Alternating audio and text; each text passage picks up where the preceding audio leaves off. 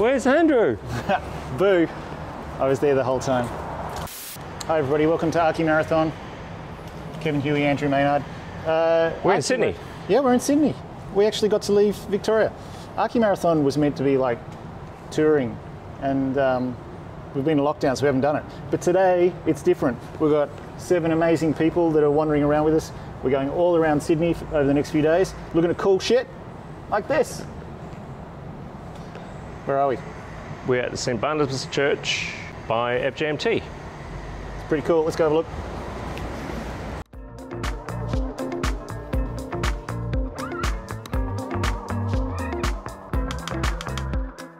So, heavily referencing Jorn Utzon yep, the Bagsværd Church in Denmark. in a good way, in a respectful way. Jorn Utzon's thing was what the, as you see with the Opera House. So same guy that did the Opera House, the plinth and the cloud. We very much see this in this building. It's a beautiful procession that goes from really busy street up through a series of trees into this forecourt. And this forecourt also, you can see behind us, also has a street address. It goes down to the community side on that side. A beautiful language of frames and things tucked in behind the frame. And the main church, which you'll see in a second, has, and it looks like, a box that's been lifted up and these two bookends are just supporting it. So you, we basically just tucked in in a compressed moment, and then we'll uh, see what's happening inside.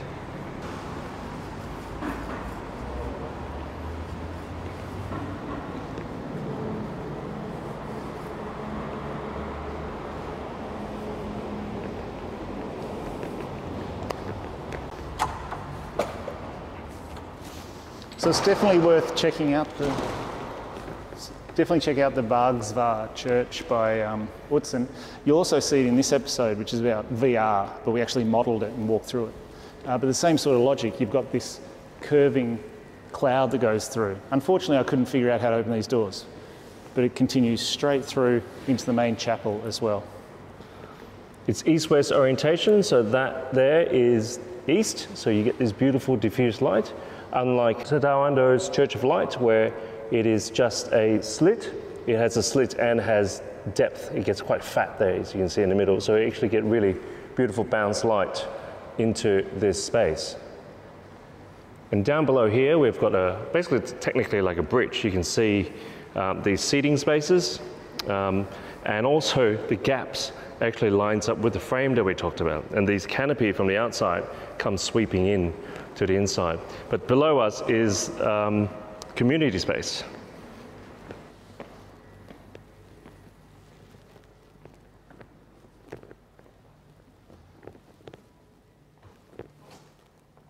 And like all good sacred spaces, the sound changes. Suddenly the street noise is gone. Um, all of the lighting is secondary. So it's much more introspective. We're looking inwards now. And it's about getting together as a community and asking some bigger questions. Utzon's church did the curve only in one direction.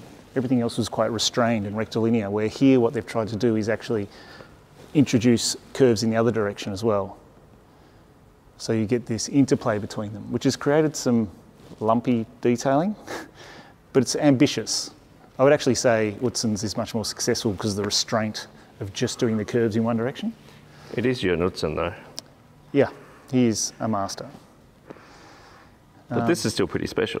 Very, very special quality of light. And just thinking about things like audio visuals. So there's actually cloth over that where there's a, a lot of speakers and audio visual in that bulkhead there. and also dampens the acoustics. It is also used as a community space and is uh, for different events, so it's not necessarily just a church. So you can see there's a lot of instruments set up for events and Well, there's no religious symbols. Like there's no cross in here, um, so that it uh, is, you know, can have non-denominational or public events. And also the chairs are loose, so you can readjust them any way you like. you worked it out, Andrew. I use the force. Everybody else has gone downstairs. So, like so many churches, the formal entry is rarely used. There's the secondary entry, which is used most of the time, which goes into the community space downstairs. I love the fact that the axis, you know, the, the entry there is actually off axis. So now we actually see we're in line with where the cross is, but it's actually where the trees are. So you're completely denied the axis. The central sacred line, Is for trees, not humans. it's trees, yes. so, community space downstairs. And also now you can see the other street orientation. These are the blades that you saw outside, same columns that you saw outside. So that is introduced to the inside as well. So what happens outside doesn't stop.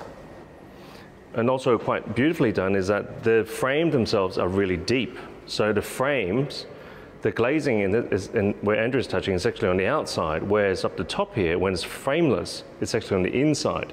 So really do read like that these are frames and then there's a gap, the shadow line, and then the canopy comes sweeping in. Hmm. So think about that from the outside. We'll show you some images of it.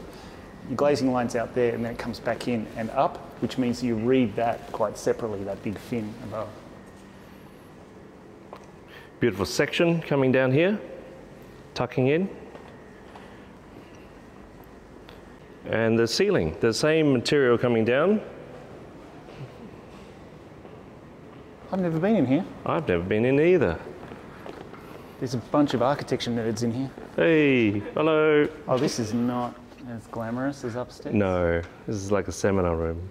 Yeah. It's perfectly set up for exam distances or COVID distances. Yeah, maybe they were immunising. Why is it uh, sloping, I wonder? Those end bits. Yeah, don't know. Don't know. Where's the glass line? Is that there? Is that there?